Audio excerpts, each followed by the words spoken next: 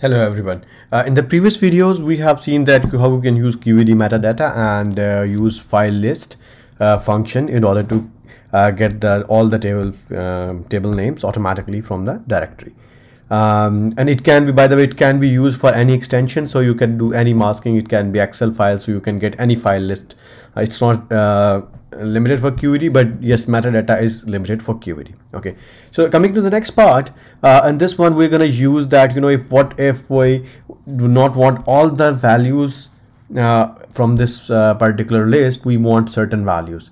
So I'm gonna use again for each loop, but in this case I have some uh, limited number of tables that I wanted to use. So what I'm gonna do is I'm gonna copy this one and I'm gonna place that in for each loop. So you know that the list of the values in for each loop get automatically done.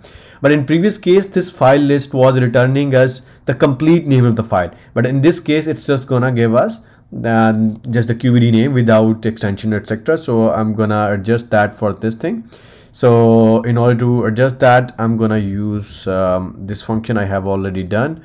Uh, but I will sh uh, showcase you that. So it's essentially the path along with uh, this variable and then the, uh, it's followed by extension. Okay? So I need to replace that at all three places. And once I do that I'm gonna load the data. So once I load the data it's gonna now this time around it's just gonna load these three files that I have uh, listed in the loop.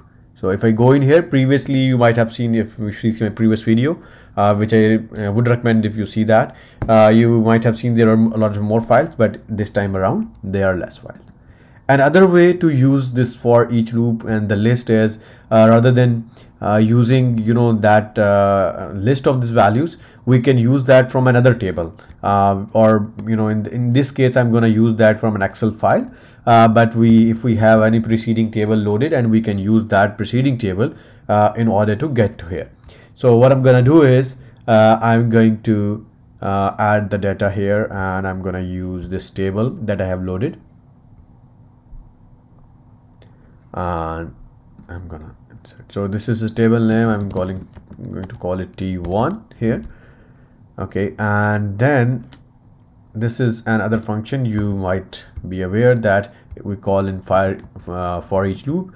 That is called file uh, field value list. So this gives me all the values in this particular field and then it's gonna loop that in that uh, that basis. And if I load that so all the values so I can limit the values just from the Excel I can add the value and that will automatically become this part of this metadata in here